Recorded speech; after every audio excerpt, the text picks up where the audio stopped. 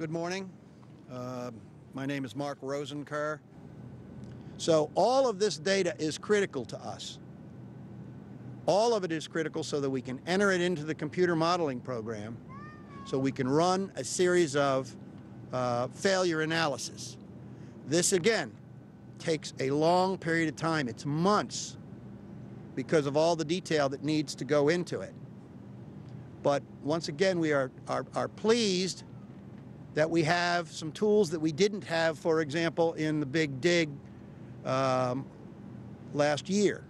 We have the video, and we have a very accurate um, finite element analysis program that we're going to be able to start using as early as tomorrow. So can you tell where the workers were? Um,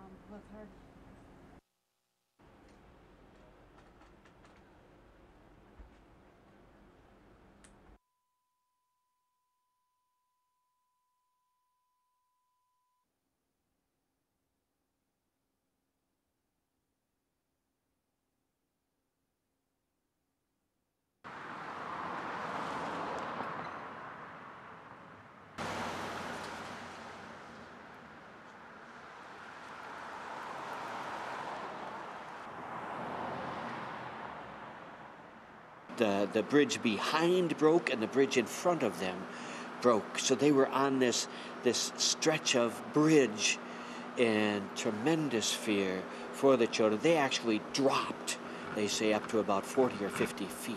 The children, not many of them were hurt at all, none of them seriously. We consider it like a miracle, of course.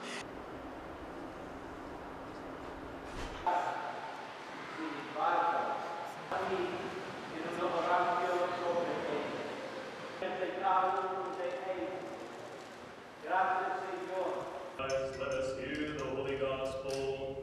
Peace be with you all. Just to hug each other and say, you know, pray for them. It's very, very touching. It's a very sad situation. Last question.